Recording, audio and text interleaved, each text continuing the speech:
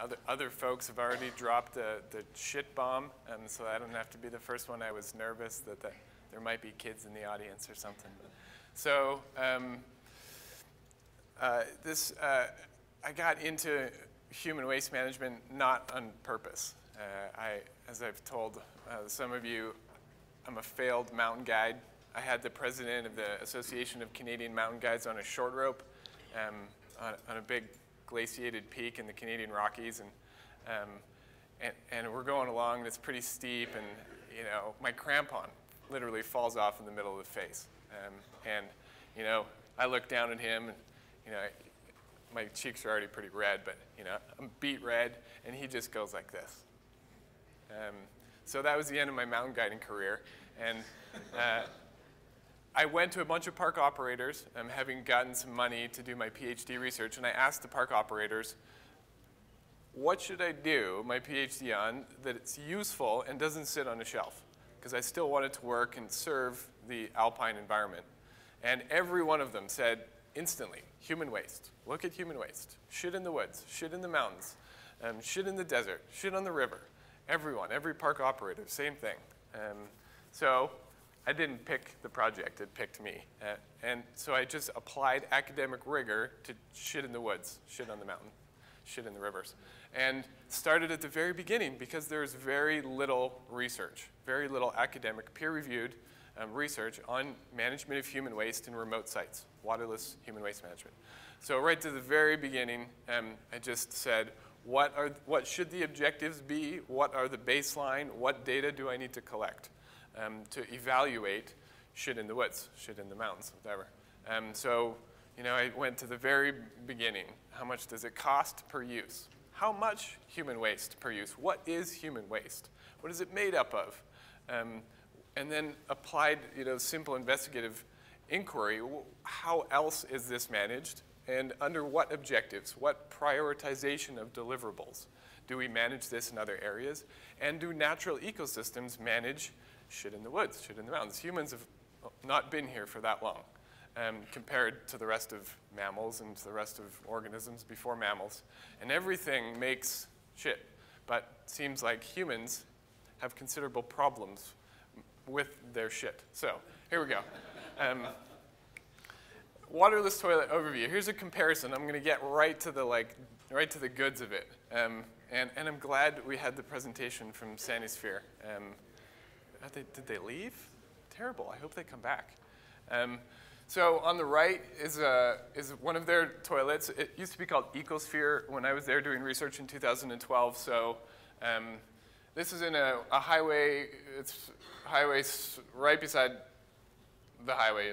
they like traffic circles. They're so much better than stop signs. They're so much more fuel efficient. But anyway, um, big city over here, big city over here, rest stop. There's a restaurant right here, which is how I could pinpoint it um, to this exact place. And um, I compared that, in essence, my PhD, part of my PhD, compared European urine diverting vermicomposting toilets to North American um, composting toilets. So here's that facility. Um, it's in Faverges, France, roadside, open 12 months a year. The use was estimated about 20,000. Here is a composting toilet beside a lake um, with a campground in Alberta. It's called Elbow Lake. Um, this road is open three months a year. And it's about an hour, hour and a half drive from Calgary um, off the Trans-Canada Highway. Uh, estimated at 5,000 uses per year, which is probably high. Two stalls. There's one door. There's the other male, female. Okay, two composting toilet chambers in there. Annual operation maintenance costs. These are numbers that came directly from the park operator. Um, $2,660. Uh, weekly operations and maintenance cost per use is about 53 cents a use. Um, occupational health and safety exposures were estimated about 33 weekly for the time period the guy is going in there. And shoveling, you read the instruction manual on these things. You've got to shovel and rake and pull, pull plastic out of the composting. You need to go and mix it all up. There's things you do to make it compost. Okay. So, and then every year you have to pull all the material out and send it to the dump because they realized pretty quickly that they were pulling out things that looked like fecal deposits and didn't make sense to dump those into the park right behind the toilet, which is about six inches above the water level, which is about 20, 30 feet from the lake. The other site, annual cost, I estimated the actual cost at about 700 American dollars. Um, back at this point in time, 2012, Ecosphere was offering service packages for 500 euros. And they would offer those for however many years the, the whatever facility wanted. And that was 500 no matter where it was. And as you said, you heard them there, they 10 minutes per I think it's more like an hour. In re reality, you got to move a big pile of stuff around. But they would drive the truck, you know, to 10 or 20 toilets a day um, during their two-week annual maintenance tour, and they would service all of the solid waste in all of their toilets in Europe over the period of about a month, um, and offer that service, making money, you would imagine, at about 500 euros a year. So translated and taken some profit out of it, it's about 700 bucks. Uh, yearly maintenance, as she said, with a cost of about three and a half cents per use. Um, considerably different there. Uh, three exposure events per year, and I calculated 20 minutes with less than three feet separation between the eyes of an operator and a pile of shit to be one um, uh, exposure event. So this is about an hour's worth of exposure to fecal matter per year. And material removal estimated at every 10 to 20 years. Um, I don't have any better information on this. When I did the research in 2012, they had 200 toilets installed at that point and had never taken material out. Um, we can ask questions to see if any of their toilets have been emptied of material subsequently. But these are toilets that have been installed since 2000. Um, and by the time I got there in 2012, some of them were 10 years old, never been emptied. Um, some of the ones that are high use, five or seven years old, um, perhaps you saw the chamber that there, you know, the space isn't very large, um, 6, 8, 12 inches deep at the most. Okay, so that, that's in essence, that's like a snapshot of what my research was. So I'm going to step back um, and go through some of the steps that led up to that. Um, okay, so here's the outline. What's the waste? What waste paradigm? What, what paradigm are we operating under when we, as a as a body, um, install a toilet system. There's been a, a, waste, a paradigm through which that technology or that principle or that concept from a CMC mountain can to a, a composting toilet. There's a paradigm that's infiltrated and underlies the decisions and the design and the management. So we're going to spend a fair bit of time talking about that because ultimately it's the paradigm that drives how we end up on the ground managing waste and what the impacts are. What is compost? Because there's a lot of erroneous information out there. Um, true challenges at remote sites, types, objectives, and evaluation of remote toilets. This is some guts of my PhD research. Human waste composition and production. When we start wondering, why isn't this working right, it drives us to go back and look at what are we dealing with? Um, what is human waste? The benefits of source separation, as you may have gathered, um, which is largely accomplished through urine diversion, and uh, comparative, you, you, saw the, the one screen snapshot of comparing these two systems. It's dramatic. We're not talking about a 10%, 15%. We're talking 10 times to 100 times to 1,000 times better performance in terms of cost, um, pathogen destruction, exposure events. It's, it's rare to come across something like this in an engineering or technical field lots of the time you compare technologies and you're looking at 5 or 10% difference with about the same efficiency versus cost comparisons. Here we're in a whole other league, so it's kind of cool. It's fun. Um, oh, I don't know the spacebar. Okay, at the very beginning, flush toilets. We have flush toilets here. Um, we, we all, probably, most of us live at home with a flush toilet. I was up in Glacier Bay and, and met these two great people, Rusty and Janine. I mean, they lived, they built their house in the 60s, still live there today, and in 2006 put in water. Um, so th there are some people still that live a rudimentary lifestyle, but generally we have, we have flush water at home. Um, water's cheap, pretty much limitless in the Western world. We, we're never, there's some restrictions, I guess, in the San Francisco areas. So regardless, cheap, power is limitless, basically, and cheap. We have on-site labor. Most of us spend, um, unless we travel a whole bunch, half a day at home, you know, 12 hours at home. And we have nutrient needs. We have a garden, probably, and we all, most of us have lawns. We still flush our excrement down the toilet. Um, and if any one of you were thinking about turning your human waste in, into compost, you'd probably shy away from it. And who has a composting toilet at home? You do? Really? That's awesome. Okay, I'd love to chat with you guys about afterwards. Did you choose purposely to put it in? Neat. Um, so that's great. There are some people motivated to use the nutrients that they're producing you know, in a waste product at home back in. But most of us use the toilet, and our culture has moved towards flush toilets because it's a very efficient, incredibly safe waste management utility. Um, and some people refer to it as the number one invention in human health because it had such a dramatic improvement in reduction of disease um, through the Western world. Water, ultimately, though, obviously it's not terribly sustainable. It doesn't feel good to flush our waste down with water. So I'm not saying this is the be-all, end-all, and we should go and install waterless toilet or water toilets in the backcountry.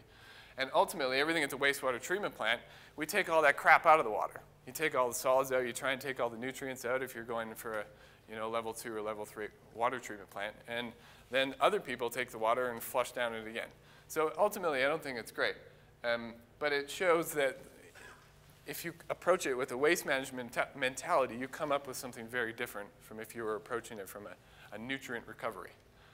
So um, a few other things here coming on from this. At the wastewater treatment plant, every wastewater treatment plant produces biosolids, um, which are semi-processed human um, excrement, waste, human waste, and um, some other industrial wastes uh, combined together with some water, and then it's extracted again with some sort of mechanisms. So biosolids in the USA. Um, the majority of biosolids are incinerated or land applied. Um, there's smaller amounts that are composted. And there are very strict regulations for how they are composted, and the regulatory um, uh, constraints are um, challenging. You know, they're challenging for municipal operators, they're challenged for public operators, and it's expensive it's, uh, uh, to process this through, there's EPA rules, it's called 503. It's a thermophilic engineered process where you need a certain scale um, and you need the uh, rapid escalation of heat that builds up and cannot dissipate fast enough so the temperature of the pile increases. But while it's increasing, it's consuming moisture and oxygen, and unless you take very good care of it, it gets out of control and smells bad or stops. Um, so a lot of mechanical equipment, some mixing, you need to adjust moisture, you need to adjust bulking agent for porosity um, and free airspace. Um, and you need to do um, uh, consistent quality control measures, so you're measuring temperature throughout the process, um, and then at the end, you go through a very extensive laboratory analysis to prove that the uh, fecal coliforms confirmed that this long temperature intensive process was met. Um, I ran a very large facility in um, Richmond, British Columbia. We did 200,000 tons a year um, for the past year, and uh, that's about 100 dump trucks a day of green waste. Um, so I have intimate um, understanding of how difficult it is to do, period, and then to do profitably. So composting is tough. And eventually you, you do end up with a useful soil amendment product that's stable and mature and has low metals and low pathogens. So that's, that's what would be necessary for a public institution to manage human waste, fecal matter, at remote sites. They would need to do the same thing through the same process, through the same regulations, um, because they're a public operator managing human waste and trying to make compost out of it. So um, here we have a remote site. This in particular, this is Mount Rainier, uh, Pan Point, and it's so it's funny. I, every time I think about it, I laugh. Um, it's almost like last, uh, last conference, Gary Oy, is that right, was talking about this uh, composting toilet building um, that he burned down um, on purpose because it was such an atrocity, had been built as a composting toilet and modified with panels and solar panels and PV panels and hot water panels and a drying rack. And um, he, I think he just couldn't stand the next thing that was going to get proposed to him to fix this thing, and so he burnt it down. Um, this is rock, so no one will ever burn this down. Um, but we have no power, except if you put in solar panels, we know that they get stolen. Um, we have no running water, except snow water. You're going to somehow melt and collect in a tank. Yep, they're doing that. Um, limited and expensive labor. They have Dr. Rich Lichneter managing this facility. He has a PhD in biology from UBC, and he mostly shovels shit. It's very cold, And there's absolutely no use for nutrients. Um, this is Mount Rainier. We're not growing anything specifically there. We don't need to fertilize, and the plants there do fine without human shit or piss. So we're trying to compost. This is a composting toilet. There's a composting toilet blasted and placed into a hole in the rock under this building. You have to access it by like going down this very small ladder, and there's all of this stuff all in the way, pipes and hoses and pumps and all sorts of ridiculous equipment to get into the bottom and to empty it out. Rich goes down with a small bin and puts it underneath and shovels it out and somehow gets up the ladder again, gets it out the door, gets it into a 55 gallon bale, pail, and they fly the pail. He puts it in a truck, drives the truck down to the wastewater treatment plant, and gets it into the manhole in front of the wastewater treatment plant. Incredible. F 50 cents a use, it's a lot more than 50 cents a use here. Okay. So, um, those are the challenges of remote sites. Types of toilets at remote sites. We already gone over some of this. John did a great job, um, and other people too. We got a pit toilet, and technically speaking, um, there's discrepancy in some of the language, but I'm going to call it pit toilet here, where you dig a hole in the ground, you crib it up with some wood to make sure the hole doesn't fall in on itself, and then people pee and poo into it. Often, the bigger, the longer you keep it for, so you dig a bigger hole, um, so you don't have to dig another one as quick. You fill it up, you cap it, and you dig another. Um, uh, uh, composting toilets, you buy the unit. Uh, users add sawdust or wood chips or something bulking agent thing to it. You service it weekly if you're following the instruction manual, which involves shoveling garbage out because you're making compost and you wouldn't want garbage in your compost. Um, the black water leaches through it because you're peeing and pooing in the same hole, and if you don't have enough bulking agent, then the urine filters through the rest of it, goes out the bottom. You dump the solids on site yearly if you've kind of closed your eyes enough to the fact that you read the instruction book and it said you can dump it on site. Or you pack it out if you're in the National Park Service because you're following the regulations. Um, and then a vault is a uh, total containment vessel that's either pumped out with a pumper truck or flown out in some various capacity. So um, that Romtec um, that we saw, the new Orca, Norca, um, or just a barrel or anything else. All sorts of things have been developed. Uh, you remove it to a wastewater treatment plant and they suck it up. Incinerating, there's very few of these. Evaporating, uh, the same thing. There's not that many that I've seen. Um, sometimes there's evaporating components on a vault, but I think that's just a sales pitch. Um, and then urine diverting vermicomposting toilet. There's a few other types of toilets, but those are the main ones. And in reality, pits, composting, and vault um, are the ones that are used in North America. In my PhD, I covered toilets, public um, operations with toilets. And pack out and cat holes and decentralized systems are excellent alternatives in certain situations. When you get an accumulation of people in a place, even if um, it's a campground that's sort of dispersed, you're going to find waste, and I think it appropriate to put a toilet in in most cases where there's even more than low use. So that's, that was my focus. Now let's look at the objectives of these toilets. And eh, please throw your hand up and like debate lively with me while this is going on. A pit toilet, it seems like that's purely cost. Let's come up with the simplest system that costs us the least with a largely complete disregard of environmental impact. Dig a hole in the ground, poop in it, You've just created a dump, essentially. It's a small dump, and you move the toilet structure over top of it. To me, is no different than a dump, because all sorts of other stuff's going in there. You may think that it's actually getting treated. Um, 10, 20, 30, 40, 50 years later, I've talked with operators who go and dig again in another hole, and there is a pit filled with human waste. And it looks the same, smells the same, is an old dump, just like if you dig down into a dump today, you will find cans and newspapers. You can open them up and read them. Um, human waste does not degrade in a hole when it's pee and poo together. It's inhibited pee and poo for a long, long time. Unless there's some seepage or, or like groundwater, subsurface flow, and then now you've just peed and pooed in your groundwater. Good one. Um, and actually, we'll get to that. yeah. So composting toilets, I mean, I think the objective of a composting toilet is to make compost. And when I read the instruction manuals, that's what I come across with. Does anybody have a different opinion? What do you think? I, I think the, the idea for us kind of is just to keep it, um, well, compost it so that it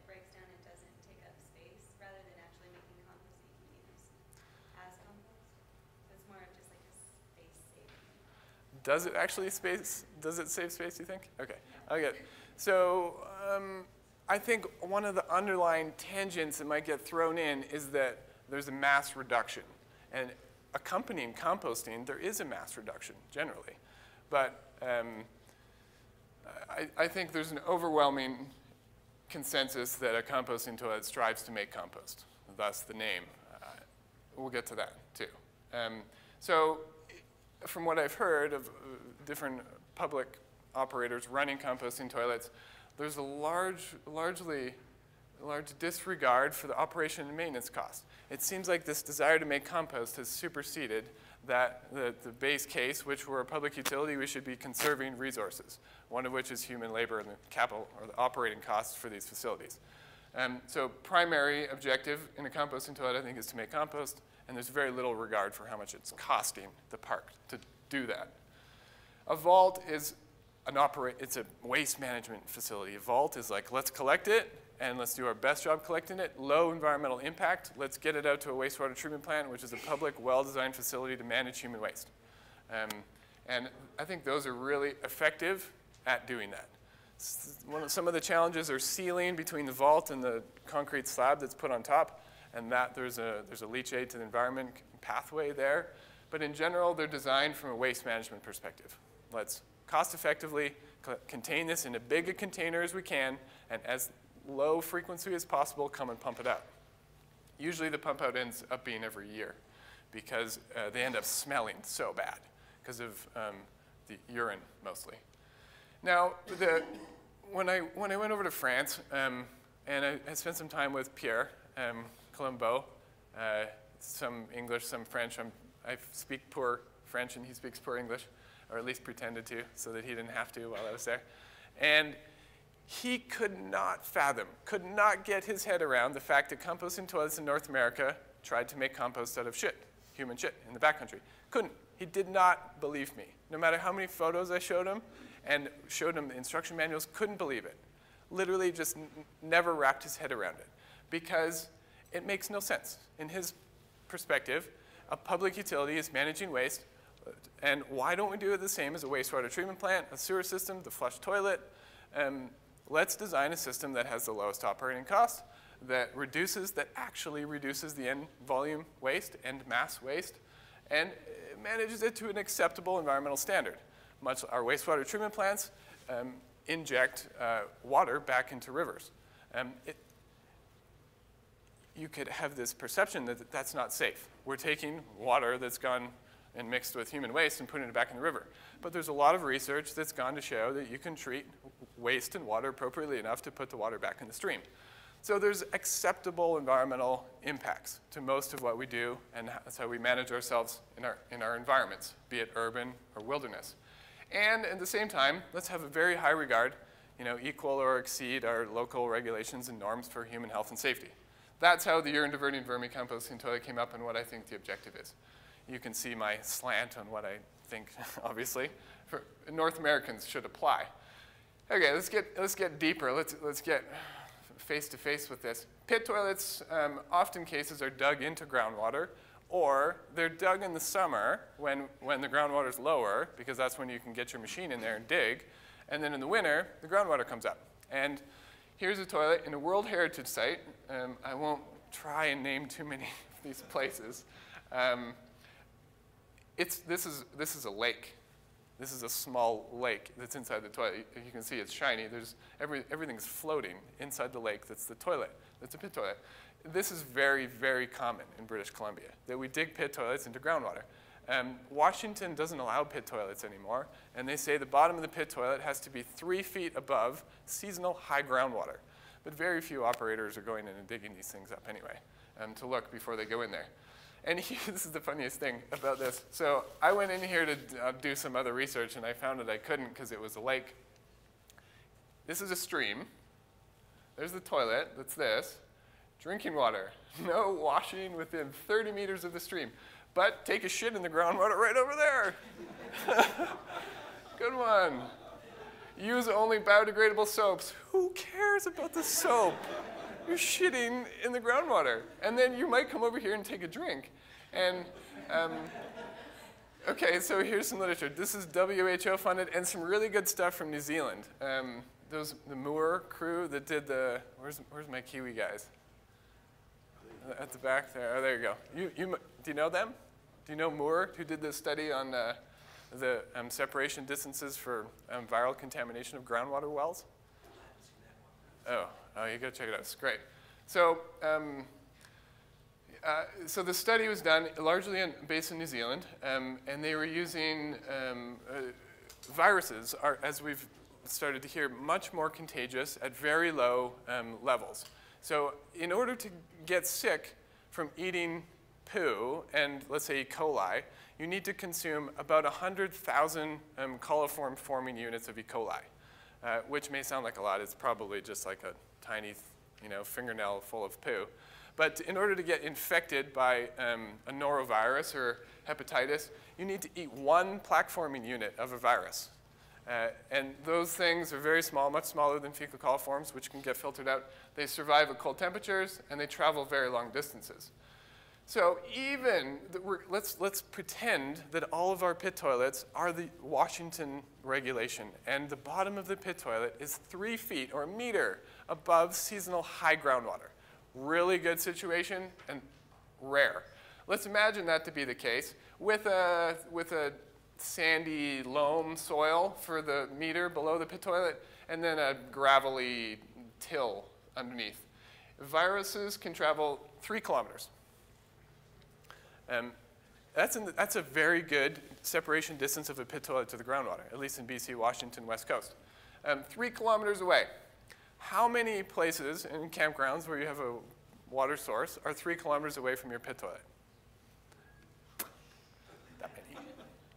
Because who's going to walk three kilometers to get their or three kilometers to poo in the toilet? They're not. They're just going to go poo around the corner. Um, okay, so this is, and, and the, about the same thing was by this other G British Geological Survey, more based on um, some research in Africa, guidelines for assessing the risk of groundwater from on-site sanitation. Pit toilets are not a reliable uh, means of, of um, managing human waste, basically is what I'm getting to here. So they're not effective. There's no treatment paradigm. There's nothing happening there. They're dumps, conceptually, they're dumps in our, in our park. And they're entirely unsafe with respect to virus transport through the soil to the water source. There is a, a director's order, which is that second classification that um, in the national parks USA, and I believe Forest Service too, that doesn't encourage the replacement of the pit toilet with a pit toilet. Um, have you heard that, John? Yeah. But what are you going to replace it with? These are pit toilets that are in the boondocks. You're going to put in a composting toilet? Okay, composting toilets. Here we go. Uh, we, uh, again, we don't compost our shit at home. Why are we trying to do it at these high use, no power, no water sites? This is BC Parks. Um, uh, Liard Hot Springs. I'm, I'm going to use their name because I got, I I'm a bit choked that I didn't get this RFP. I didn't win it to fix it. Um, and so this is funny. 100,000 people a year go to the site. Beautiful site. And you have to, you, there's a boardwalk you walk across for about 200 meters um, because there's a, an endemic fish that lives in the very hot water runoff from the hot pools. Tiny little thing. And it's there's snow all around, but right in this spot, it always, there's no snow accumulation, so it's, it's year round. And um, this, this is, there's a couple composting toilet things here, and this is what it looks like. And once a year, when the, when the visitation drops off, this public park, this operator, who's a concessionaire operator for the park, he drives a golf cart with a trailer um, along the boardwalk. There's just enough space for him to do U-turn by the building.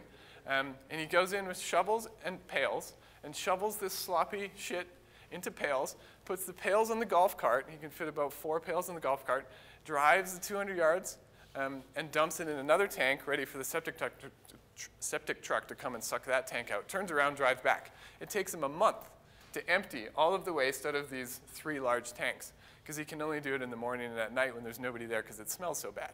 Um, a couple times, the golf cart and trailer have spilled into this endemic stream, shit into the stream again. Lovely.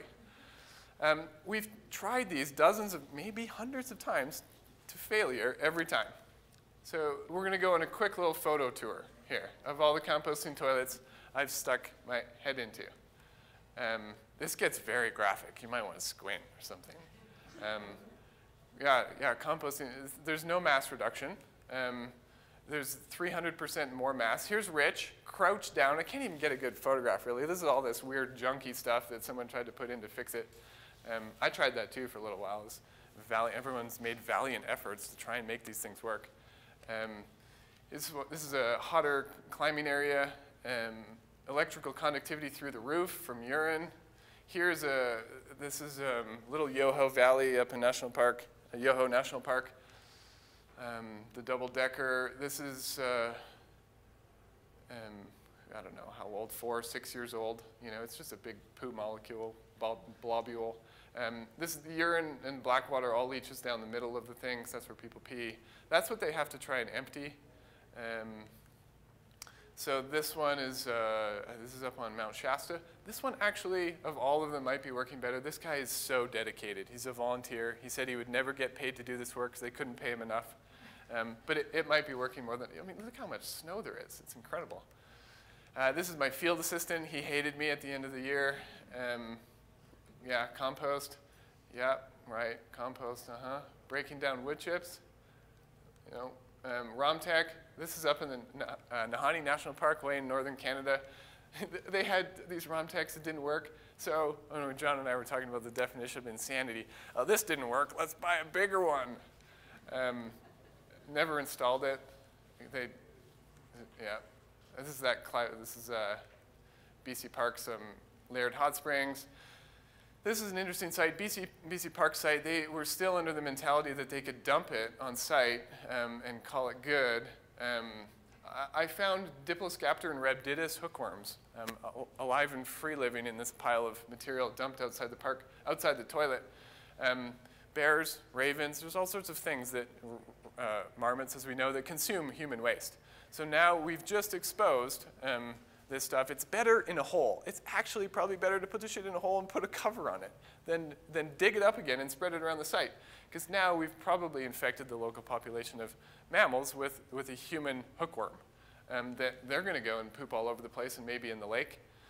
Um, I, I, did some other, uh, you know, intense studies on hookworm degradation here to see if they would ever get up to the temperature necessary to kill hookworms. I won't bore you with it.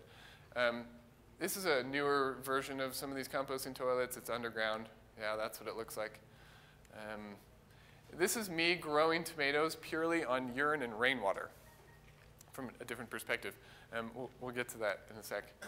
Composting toilets, a misnomer, was one of my publications. Uh, so I wrote a. Did you eat tomatoes? Huh? What? you ate them? of course I did. there, there is no, there's no biological chemical pathway to take, to take, let's say, let's say I was peeing uh, hepatitis, okay? okay? Somehow I'm peeing hepatitis. I don't think it's possible.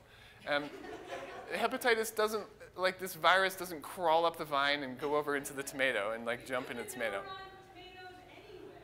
yeah. okay, so I stuck my head in all of the brands of public scale composting toilets, which I, um, I don't say their names because one of them uh, threatened to sue me um, for doing research on composting toilets. That was a good sign. I was like, ding, ding, I'm onto something. Um, so there are 12 sites, 16 chambers, 100 plus samples. There's an NSF standard 41 which uh, suggests uh, which composting toilets are designed properly. Um, none of the chambers passed that NSF standard 41. None of the chambers or processes passed an EPA 503 regulations. Um, nothing in the literature body has ever indicated a composting toilet has ever, even in like Africa where it's hot, has heated up more than 10 degrees above ambient temperatures. So no, no, nowhere in the world is it ambient plus 10 equals 55 Celsius. It's impossible. Zero out of 100 samples met the definition that's well established in the literature body for compost. Forget the fact that it didn't go through the process or that it didn't meet um, any of the others. Stability, maturity, and um, uh, smell are the three best ways where you can say, is this material compost? If it's not stable, it's still active and sending off CO2 because things are still eating the available carbon. Maturity is about the nutrients. If all of the nitrogen is in ammonia and it stinks, it's not stabilized and moved the nitrogen into nitrates, which are used by plants, all plants. And if it smells bad, it's shit. And, and all of the samples were so foul that um, I had to do a lot of this work in my garage. And the lab at the university wouldn't have my samples any, anywhere. Uh, the raw fecal matter that I took samples from and sent to the lab, my lab fees just climbed and climbed and climbed year after year after year because they hated working with it. Um, raw fecal matter was no different from compost toilet end product. There was no significant difference between those two, from E. coli, volatile solids, and stability. Um, all of them are continuous flow, designed continuous flow. And from an engineering perspective, given that we're peeing into them largely, uh, it takes um, maybe a couple hours to a day for the urine to infiltrate through the six-year-old mass, perhaps, of some of the very low-use sites to get to the bottom of the chamber. And if you happen to have someone pee into it the day before you come in and shovel out the bottom, you're really shoveling, in, in, actuality, an effective residence time of material that's one to two days old. Um, so, and then you're going to go and spread that around your site when it could have pathogens that exited someone's body days ago.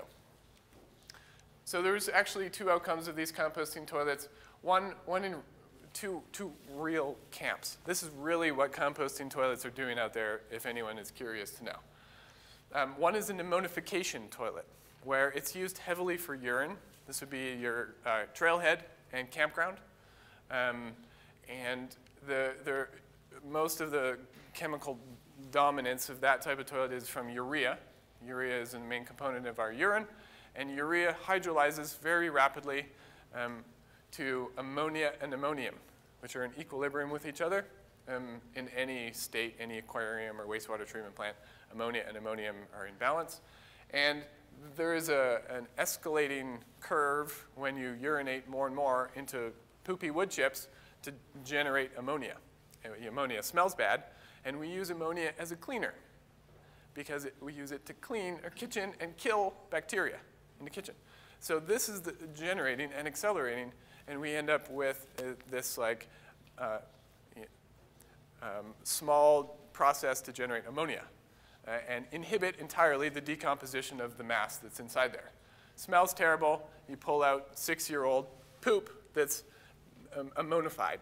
It's like mummified, but it's very wet. And um, if you take the ammonia away by letting it off gas for days, then it's ready to go, and it's all ready to break down and decompose. And um, so, yeah, those were great. They weren't that, the, the, ammonia effect wasn't strong enough to kill the pathogens. Um, so they killed everything else, the weaker, you know, um, uh, heterotrophic bacteria that were supposed to do the composting, the moldering. Those were all, they, those didn't live. And then there was the pathogen brew pot, I called it. And these were primarily fecal matter, um, if you really had to go, you're like hiking down the trail, you peed a little while ago at the toilet, and you know that the toilet's coming up, and you, are just going to make it to the toilet. And, and so people trail side, or, or, sorry, in the middle of the trail, like on trail toilets are used a lot for pooping. Um, you're at a climbing area, you're going to go pee behind the rock, but if you got to poop, you're going to go hike to 10 minutes to the toilet. And those were, um, one in particular was UBC CK Choi's toilet, and um, which, which used to be the flagship for these composting toilets until this bit of research came out. And they had um, over 100,000 counts of E. coli in material that was five years old. It was just brewing. It was the perfect temperature, 30, 35 degrees Celsius, which is about the same temperature as the inside of our intestine. Um, and we're adding to it, inoculating it every day with fecal pathogens much more than are naturally coming through with a little bit of largely sterile wood shavings we're putting into it. So those brood pathogens. Okay, how effective were these? How, if, like we evaluated pit toilets for did they accomplish the objectives of what we were trying to do? Uh, very expensive to maintain, very hazardous to maintain, increase the end mass about 300% because we're adding wood chips to it. Um, the wood chips soak up a lot of the urine, the rest of the urine drains off. Um, ineffective. largely ineffective. The only thing I thought they were effective at was providing a, a means of collecting the human waste, but better off than just to collect it in a container, like one of those ROMTECs, not put the bulking agent in, and, and fly it out. Um, but when you get it in a small little hatch in a box and you got to shovel it and get it in and out of a door or a hatch, then it's just a real big pain in the ass then. Why not just, I think those fly out Romtecs or fly out barrels make a lot more sense. Um, okay, vault toilets. Uh, these are vaults really, they come from a true waste management perspective. The Canadian Alpine Club uses these extensively because you, you get it in a barrel, you get it out just like a clean mountain can. You get it in there, you get it out. This, we're not, the, the, these hut groups or national parks, um, they're not, we're not trained to be waste management. You know, you know we don't have the knowledge or the equipment, uh, the infrastructure to manage, to treat the waste. So let's just get it out. Get it to one of those facilities that do. As it happens, it's expensive because helicopters are expensive and it's a long way. So it ends up being expensive. But at least you're maintaining the environment to its cleanest point, um, and uh, you're not, um, you know, you're not trying to do something unrealistic. You're just getting it out. So in the Canadian Alpine Club, they rely on um, hut users to move the barrels, and I, I don't entirely agree with that approach um, because I've moved a 200 kilogram barrel of pissy shit, and it's the scariest, one of the scariest things I've done in my life. Um, I mean, it takes a lot of momentum to move a 200 kilogram thing of anything. And so you put your hip into it, and now the barrel's about here, right? And, and you got to get it going, so you got to hit it a little bit, and then and it's sloshing, and you maybe you put the lid on, but it's, you know, it's terrible. The Alpine Club seems to make it work, and people don't complain that much. It's bad. It's terrible. Come on. I think it's terrible. It, yet it, it works. So the Alpine Club has made it work, and the users of, of the Canadian Alpine Club system have bought into it, and it's reliable. So, um, but I still don't think it's a long-term solution or something that I would recommend other parks get into. Have our, our the public, and this wouldn't fly in the states because there's more like litigation concern, I think. But um, anyway. Human waste production and composition. Let's look at this differently. Let's abandon nutrient recovery in, in the remote places. Let's entirely abandon that, just for a sec. And go back to, if we were starting fresh and we had this problem of human waste in the backcountry, how are we going to manage it? We would look at what is human waste? Urine, fecal matter. Urine per use, I measured this by collecting it in barrels and moving them. Um, 160 to 200 milliliters per use. Coke can, think, Coke can, about. 80% uh, plant nutrients. Um, of human waste, 80% are in urine. Zero heavy metals, zero pathogens, uh, unless you have a bladder infection, but that's not a real pathogen. It's not like your bladder infection is going to give someone else a bladder infection. Um, it's, it's self-sanitizing if you store it, uh, and that's because of, of, ammonia. Ammonia will escalate naturally in stored urine and kill everything. Um, and that's why Roger added urea after he had stabilized um, his vermicomposted human waste, because it's a very effective end of the pipe sanitization pathway. Um, and uh, fecal matter is about half that, so 80 to 100 grams per use. 20% of the plant nutrients, 100% of the heavy metals, and 100% of the pathogens. We're talking 10 to the 6 or 10 to the 8. So I don't know if this is 100,000 or a million or 10 million or something. And then you have the helminth um, over there. The viruses come out of there, and the protozoan cysts, the Giardia, cryptosporidium stuff. Um, it doesn't flow by gravity. It's sticky, as we know from the conveyor belt from the other description. So if you're looking at this, and, and there's this weird mentality of let's use, let's, use, let's use our shit for agriculture. You know, let's reuse, let's, let's take our shit and put it back in the garden. We don't need organic matter in North America. Really, we, don't, we have a lot of organic matter throughout most of North America, most of the world. Um, what we need are nutrients. We need nitrogen, phosphorus, and potassium to grow. And we need sustainable forms of uh, uh, phosphorus as well. So if you were looking at this, you would say, well, let's take the urine and do something useful with it. And let's put the shit in a corner and try and hope it goes away. And not add anything to it and not touch it. I, that's, how, that's the program that I would set up. So what that looks like, I think I used up all the batteries in this thing. I was pressing the red button a lot. Um, yeah, just go forward. Thanks. Okay, so fundamentals of, of waste management. Stepping back again, applying fundamentals here. Source separation. Um, we used to put it all into one bin and send it to landfill. We realized, oh, that doesn't make a lot of sense. You fill up the landfill quick and it makes methane, all these other things. So let's separate it so that we retain the value in the different um, types of feedstock materials that are going in there. And this is pretty well established. So let's apply this simply. We only have two waste streams, urine and fecal matter. And as you saw, I, I, there aren't too many like um, good clip art you can take on source separated human waste, you know. But that, that was the, the, the weightlifting guy. You go in the pooping position, or the, you know, most women's peeing position, I guess. Some guys sit down to pee, as it turns out. Um, and physiologically, we have source separation going on. Um, and in the history of mammals on Earth, every mammal has source separation going on, however you come to play it. You poop, and a lot of these mammals will do like other things to cover up the poop, and they'll often still be peeing. Well, they're- I, I look at these things because I study it so much, you know. Um, so we don't even have to do much. Okay, let's go to the next one.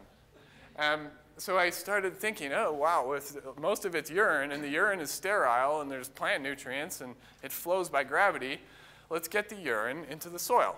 Soil microbes and plant um, are all striving for nitrogen primarily, phosphorus next, potassium third. Those are the limiting factors in life. NPK, urine has it all. Uh, one, go back a sec. There was a question, can we add urine diversion to a Romtec-ish? This would be your best shot, um, but if you could lift the lid up here, you would see that there's a small drain hole. It's about an inch, it's about that big. It clogged up in all of the retrofits I did in days. Clogged up with you name it. It's not that hard to name things.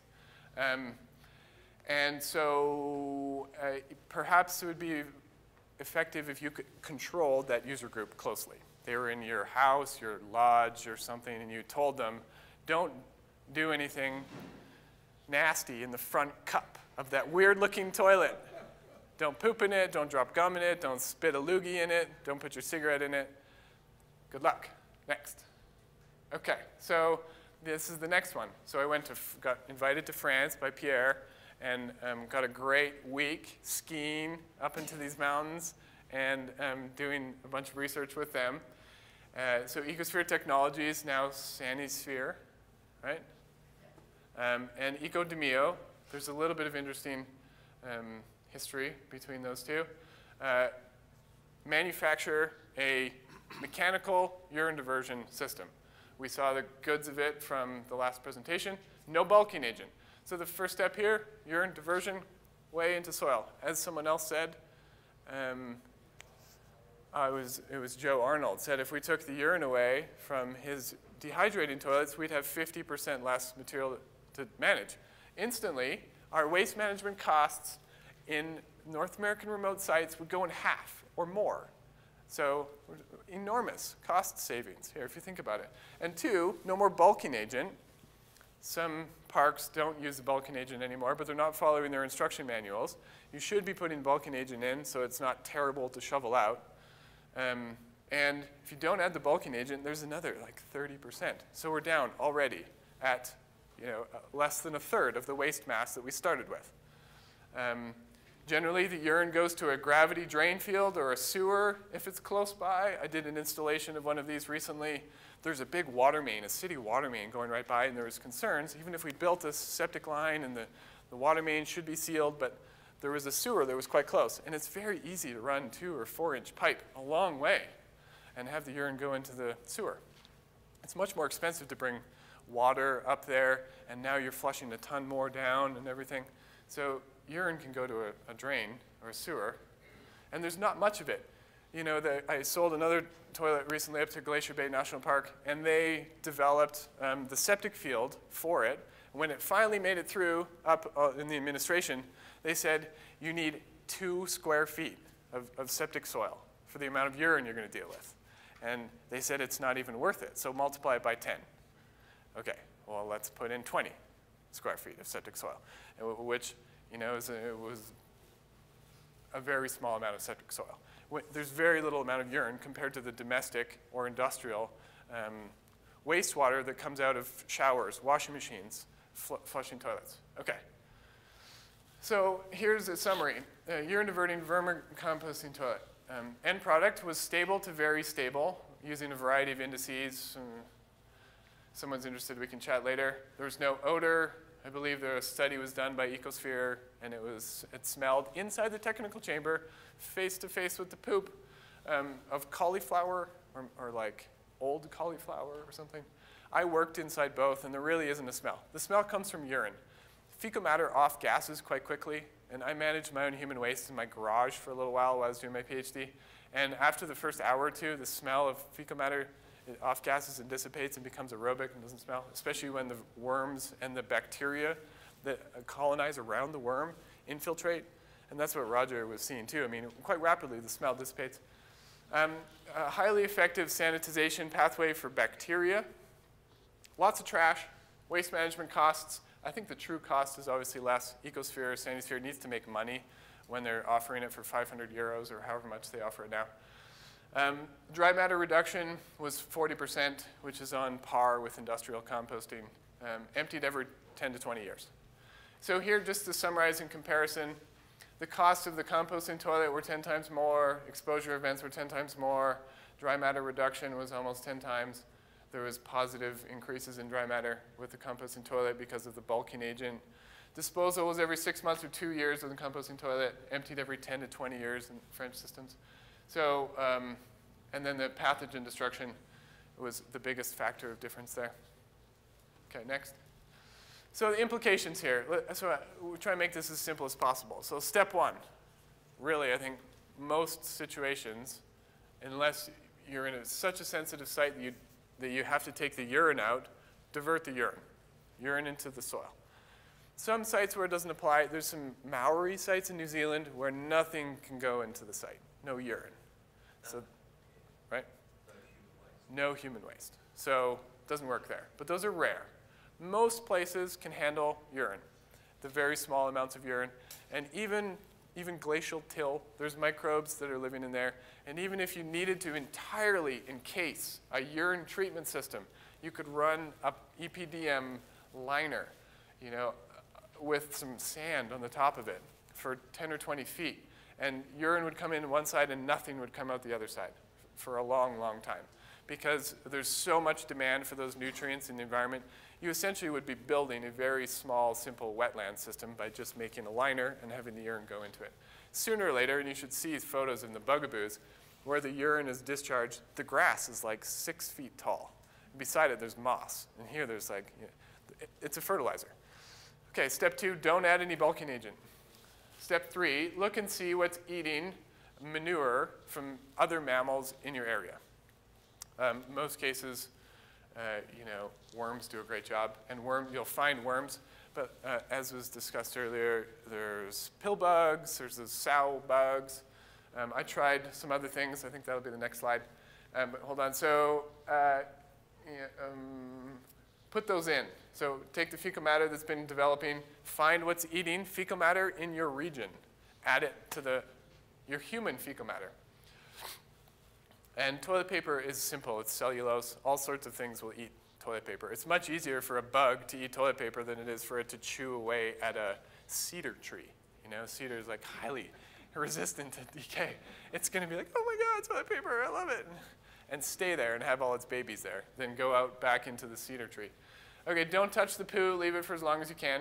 Step five, budget a line item um, and put it on the next guy who's going to come into your spot to every decade remove the material that you've left in a corner and not touched for as long as possible. Um, and they will look at that and say, you, really? That's it?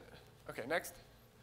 So I tried slugs in the Pacific Northwest because of the, this real concern, a legitimate and real concern to not introduce um, Eisenia fetida, which is a red worm, um, vermicomposting worm, into national parks there's all sorts of other things, as we know, that'll consume manure. Every mammal in your park produces manure, and it gets consumed. When you go walking down the trail, you don't see buildup and buildup of, you know, goat poop, poop droplets or rabbit poop droplets. It's getting consumed by things. Figure out what it is, drop it in there. Um, however, in reality, most of your parks probably have Eisenia fetida in it, which is the red worm, the wriggling worm, because people use those for fishing. They follow horse pack trains around. So if you have horses or if you have fishing in your parks, you probably got Eisenia fetida. So the way around that is just to grab some local manure in your already established park stable, grab some of the horse manure that's well decayed and aging, and add it to your fecal matter. Um, and that's why I think it's preferred in the future to call these urine diverting waterless toilets. You want to stick something on at the end, it would be invertebrate decomposition. But ultimately, urine diverting, first step, main reduction in mass. Two, um, you know, waterless, uh, you know, uh, no bulking agent. So urine diverting waterless invertebrate decomposition. Okay, next. Um, so in reality, the hardest step in all of that, I was saying it like it was easy. The, the hardest step is diverting the urine. Behaviorally, one option, um, try and convince yourself next time you take a dump to not pee. Is some people can do it, some people really can't. They kind of come out at the same time. um, it's something that's not talked about a lot. It's fun to like talk about these things.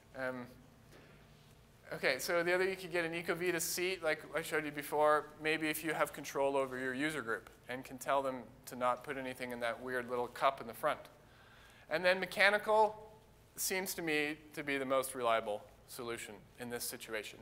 Um, now, um, there's two options for conveyor belt mechanical, um, Ecosphere or Sanisphere, and um, there is a, Sanisphere provides the mechanism and the toilet structure, from my understanding of um, communications with them, not recently, but previously with Pierre. And um, I didn't think that was cost effective in order to integrate that technology in the North American market um, because we can build buildings in North America. And it doesn't make a lot of sense for me in that frame of mind, thinking how do I leverage my uh, understanding of this topic and turn it into a profitable money-making venture like we all need to do to support things we want to do in family, whatnot. So uh, it didn't make sense to, to ship a building across the ocean. So instead, there's another manufacturer of this that manufactures um, conveyor belts in France, and um, he has a patent also on the system. Um, I'm sure there'll be some interesting debates between um, the two original patent holders. But um, so that's Ecosphere Technologies, and um, I buy and sell his equipment uh, uh, for North America. And that's, uh, I call it behind the wall, because it's a system that can sit on the flat ground. It doesn't need a basement, so much of a basement, and it works through the wall, behind the wall. The conveyor belt goes right on the flat, and it goes up and through the wall. It's operated by a foot pedal, pedal power. Um, similar, it's very similar Eco, uh, the owner of Eco, uh, sorry, of um, Ecodomeo, who manufactures this one, used to work for Pierre Colombo, and they established some agreement um, to, to separate the manufacturing of these units. Um, so the other system that I manufacture myself came from a lot of conversations with park operators, Forest Service, and National Park, that they didn't think people would be reliable to operate the foot pedal um, and that material would accumulate. Um, it works in Europe, absolutely works in Europe, but people have been trained. And there's a consensus that North Americans are lazy in the bathroom. So, uh, so I, I, linked up the door to mechanical power from, for the system that I des- designed and developed and have sold to separate the urine. It's off a big plate. Imagine a big windshield wiper underneath your toilet hole and there's a sweeper bar that comes and sweeps your poop and toilet paper off to the side. Every time you open and close the door, which does the same action, the sweeper sweeps your poop off to the side, and the plate is inclined so that urine gets collected um, off it. Uh, and that's called the below the floor system. Okay, next. Uh, here's a, this is a, a, toilet that was designed um, in combination with the Glacier Bay National Park Service. It's using panabode. there's bear issues up there, so it's very thick. Five lamb, cedar, Panabode. and the concept of, you know, you open and close the door and the urine comes off the front, fecal matter goes off the side. Um, so I don't have so much uh, building products, whatever. There's so many parks have so many different desires and Forest Service to build the building like this or like that, or, you know, we have a lot of money, we don't have any money at all. So instead, I'm just working on providing the technical components of urine diversion and, and linking them up to specific components of building design to get the job done. Next. This is an example. This is in Squamish um, using uh, the conveyor belt from Ecodomeo. And um, it's, a, it's a nonprofit project. It was sponsored by Mountain Equipment Co-op um, and the District of Squamish and the Climate Action Network um, to put that toilet in, toilet in there. Two different seat options. So he has a, he has a mechanical patent on, on his system and also a design um, patent on this like pretty aesthetically pleasing um, uh, riser. So that's it. Questions?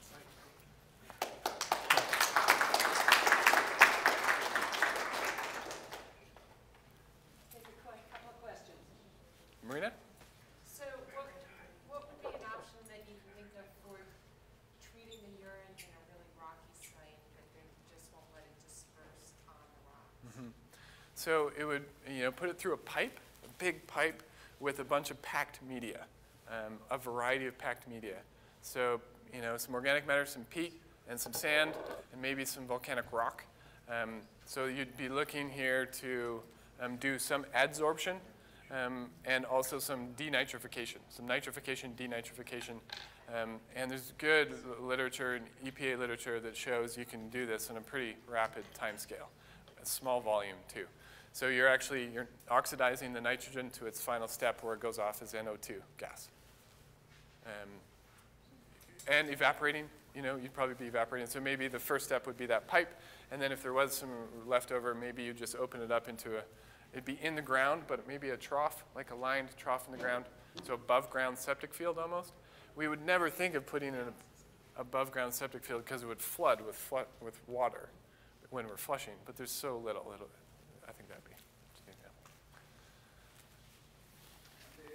I understand the importance of the diversion from the urine and fecal. And the, mech- you said mechanical is the most, uh, very effective. Do you think they, do you have any problem with the clogging or the, I mean, the main- maintenance?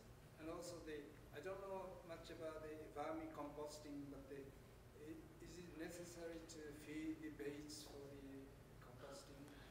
To feed the, feed the baits or or the, just the, to bioactivate, to bioactivate, i- is it necessary to feed something uh, for nutrients for the eater? Eater. Um, well, the worms are self-sustaining, so you add them once to get it going and make sure that, you know, that community uh, dominates. So if you just left it to its own accord, I think you would end up with a very different system in every place. But if you seed it with something specific, um, you establish a, a relatively stable community state. Um, and you can do this in a variety of ecosystems. If you go up into the Arctic, you can plant, you know, domestic plants, and they'll colonize, and they'll keep out the native uh, saxifraga and blueberry from growing there in that little spot. Um, so you, you need to seed it once, but the worms may die over the winter if it's cold enough, but the cocoons have quite a resistant physiology to come back alive next year. Um, The the, the operation and maintenance, um, you know, the, the folks behind you from Sanisphere would be better to describe that. But as they said, it, what they find, and they manage a lot of their own service on the toilets they sell, is that it, once a year for 10 minutes, which I think is probably more like an hour, you need to go through your system and probably clean some things out and scrape some things off and shovel some material around. There's no entirely maintenance-free system out there. Um, but it's, it's much, much lower than what's involved in North American composting toilets. My system is relatively new. I, I've gone through a few generations of design with a few different clients, some portable, some retrofit, and now this um, toilet it- with Glacier Bay is my first full design, build, operate, if you will. And um, the, a report just came back from the park operator that everything looked like it should. So it's probably been used a couple hundred, maybe a thousand times by now. It's the busy season. It's been installed for a month. Um, I went back to my portable system that's been on a trailer. It had 2,500 uses. Um, the plate was clean, and um, some material had built up around the edges of the plate. The next design, I cut the edges off, so there no more edge. Um, it'll be an iterative process like all new technology that comes out, but it's very simple. There's very few moving parts. A pulley, two cables, and a sweeper bar. There's a brass bushing. There's very few parts to, to worry about. So we get to the finer scale of back to that, we're going to make a 10% improvement here, a 10% improvement there. There'll be a little bit more cost next time. If someone wants something fancy, they can put it in. But ultimately, you know, we're talking about two pretty distinct concepts and, and required maintenance packages. John? I want to thank Geoff. And